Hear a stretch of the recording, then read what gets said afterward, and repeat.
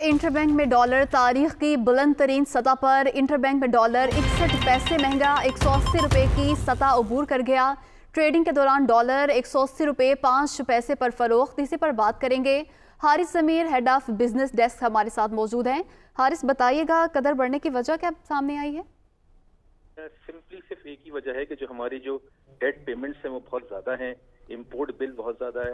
आपने पिछले काफ़ी दिनों से देखा कि जब से जो रशिया यूक्रेन वॉर हुई है, उससे हम, जो ऑयल प्राइसेस हैं, वो हंड्रेड डॉलर से ऊपर चली गई थी। अब तो खैर नीचे आ गई लेकिन जो पेमेंट्स हैं और दूसरी जो कश्मकश चल रही है सियासी, उसकी वजह से लगता है कि जो मीशत है, वो किसी के भी जो है वो एजेंडा में नहीं है और मुसलसल जो है हमारी जो पेमेंट्स हैं, उसका दबाव बढ़ता चला जा रहा है और अब ऐसा लगता है कि हमें मजीद लोन्स देने पड़ेंगे और आईएमएफ का भी तातुल का शिकार तो ये सब मिला के हमें सबसे बड़ा मसला जो है वो पेमेंट्स का है।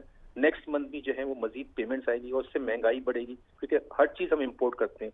तेल खुर्दनी तेल, हर चीज़ इम्पोर्ट करते हैं। उससे हमारे इन्फ्लेशन मजीद बढ़ने की इम्कान है। जी हारिस बहुत शुक्रिया आपका।